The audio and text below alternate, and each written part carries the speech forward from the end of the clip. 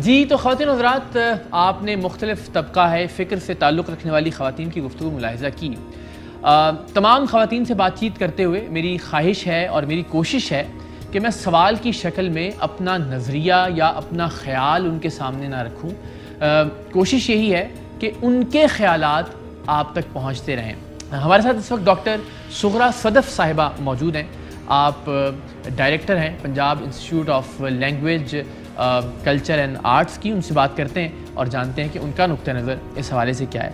Doctor साहब, एक सवाल जो हम तमाम अपने पार्टिसिपेंट्स के सामने रख रहे हैं, वो सवाल ये कि एक तो ये कि आप एक ख़ातून के तौर पर बताइएगा, ज़ाहिर है आपने जो ज़िंदगी गुजारी इस माशरे के अंदर, उसको भी जहन में रखते हुए आज के माहौल में भी आप ख़ुद, आपकी फ़ैमिली की ख़वातीन, आपके इर्द गिर्द की ख़वातीन ख़ुद को कितना महफूज तस्वुर करती हैं आज के पाकिस्तान में। जी, बहुत शुक्रिया। मैं तो इतनी हैरान हूँ, परेशान हूँ।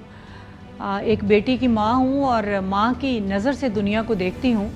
मैंने पाकिस्तान में ऐसे हालात अपनी ज़िंदगी में कभी नहीं देखे जिस तरह के आज के, आजकल देखने को मिल रहे हैं। हम जब यूनिवर्सिटी में पढ़ते थे, पैदल सफ़र करते थे, इतना लंबा लंबा सफ़र करके बाज़ारों में जाते थे और बिल्कुल महफूज अपने आप को समझते थे।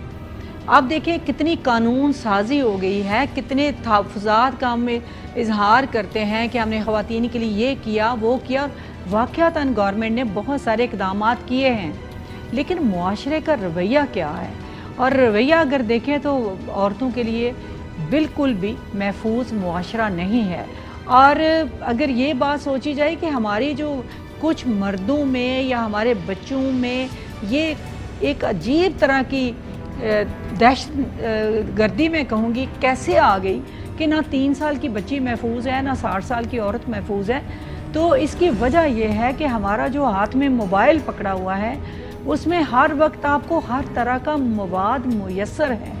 दूसरा, आपकी सोसाइटी उस तरह की खुली डुली सोसाइटी नहीं है कि जिस तरह आप मशर, मगरब की मिसालें देते हैं, वहाँ लोग और तरह ज़िंदगी गुजारते हैं।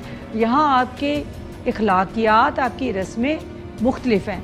तो जब आप एक ऐसा मवाद देखेंगे जब आप एक यंग लड़का देखेगा शादीशुदा देखेगा अनमेरिड देख कोई भी देखेगा तो ऑब्वियसली फिर वो आ, कोई ना कोई उसका इजहार करेगा और वो इजहार जो है वो गलत हवाले से ही होगा। और आपके प्रोग्राम में भी मैं अक्सर देखती हूँ कि आप एक बहुत अच्छा काम कर रहे हैं खैर का काम कर रहे हैं लोगों की मुश्किलात को सामने लेकर आ रहे हैं और जो पिसा हुआ तबका है उसके लिए आवाज़ बुलंद कर रहे हैं, उनकी आवाज़ बन रहे हैं। तो ये आवाज़ हम सबको बननी चाहिए और लोगों के मसाइल हल करने चाहिए। सबके लिए बहुत दुआएँ। जी तो जनाब, बड़ी दिलचस्प सूरत हाल है और ज़ाहिर बहुत सीखने का मवाद है तमाम तर वो गुफ्तु जो मुख्तलिफ़ ख़वान की जानब से की जा रही है। सिर्फ़ एक मिसाल के तौर पर जिस तरह gender studies department Jamia Punjab की सरबराह हैं। उनकी गुफ्तु ज़रा मुख्तलफ है। जमात इस्लामी की मरकज़ी रहनुमा ज़ाहिर है। उनका तजर्बा मुख्तलिफ़ है। ज़ाहिर है, इनमें से कोई भी गलत बयानी नहीं कर रहा। लेकिन ज़ाहिर अपने अपने तजर्बात हैं। आफ़िया सलाम साहिबा हमारे साथ मौजूद हैं। आप सहाफ़ी भी हैं और हालिया जो वाक़ात हुए लाहौर में, उनके हवाले से उनका व्यू पॉइंट बहुत मकबूल भी हुआ। ज़ाहिर की मुख्तलिफ़ राय रखने वाले लोग भी थे।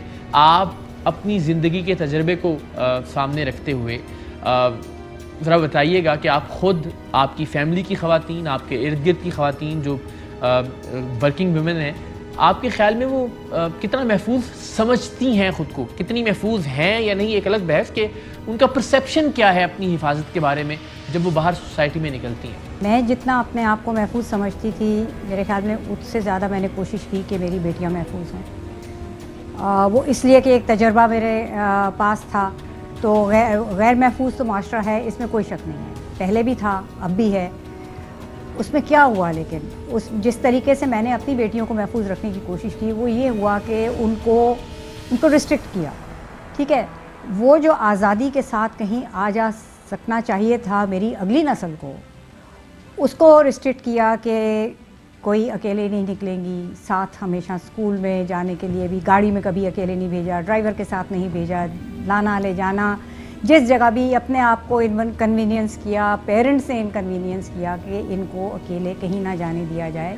क्योंकि मेरे पास अपना वो तजर्बा था, मैं बसों में गई हूँ। स्कूल भी बस में जाते थे पब्लिक बसेस में यूनिवर्सिटी में भी बसों में जाते थे बस स्टॉप पे खड़े भी होना पड़ता था।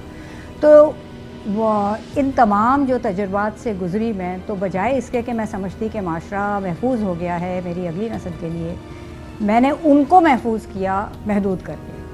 और यही एक वो अलमिया है कि अब जब वो लड़कियाँ बाहर निकलती हैं, जो कि उस तरह से महदूद नहीं की जाती हैं, और उनके साथ वही कुछ होता है जो हमारे साथ हो रहा था। मैं आपको 50 साल पहले की 50 साल से ज़्यादा पहले की बात बता रही हूँ। वो अभी भी होता है, उससे बदतर होता है। तो फिर माशरे के ऊपर महफूज की टैग तो नहीं लग सकती, बिल्कुल भी। आपके नज़दीक सोल्यूशन क्या है?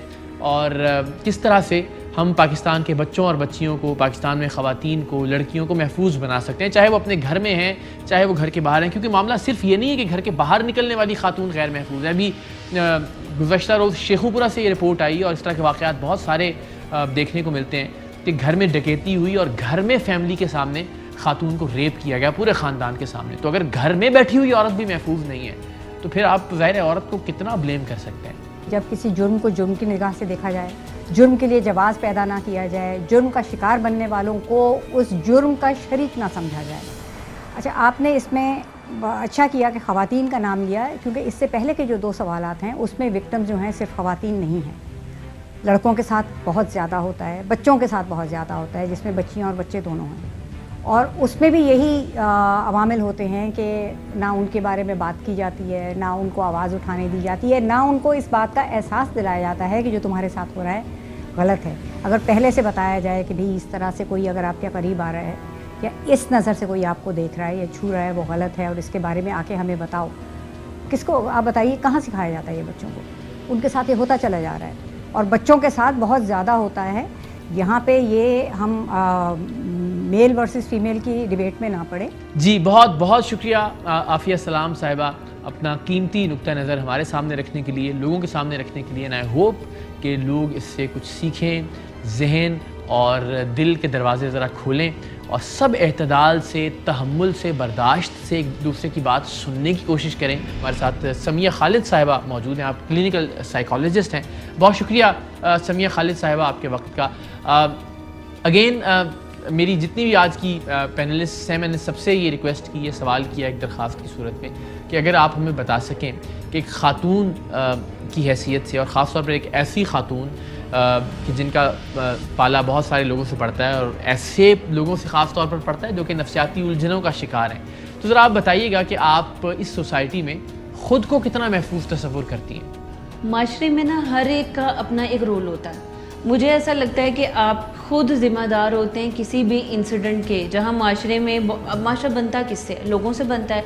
लोग यहाँ पे जो मौजूद होते हैं, वो अपनी तरबियत के मुताबिक या अपने अमल के मुताबिक ही दूसरों से रिस्पॉन्स पाते हैं। आपने सुना होगा कि एक एक्शन होता है और एक उसका रिएक्शन होता है। आप जैसा एक्ट करोगे, आपको वैसे रिएक्शन मिलेगा। पाकिस्तान में बहुत सारे ऐसे लोग हैं जिनके साथ बुरा नहीं भी तो होता।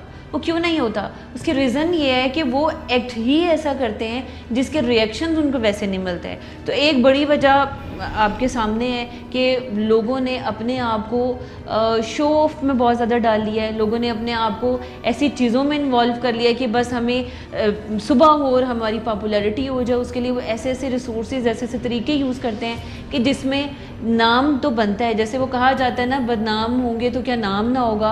वही बात होती है कि वो नाम अपना बनाने के लिए बदनामी को मोल लेने के लिए भी तैयार हो जाते हैं।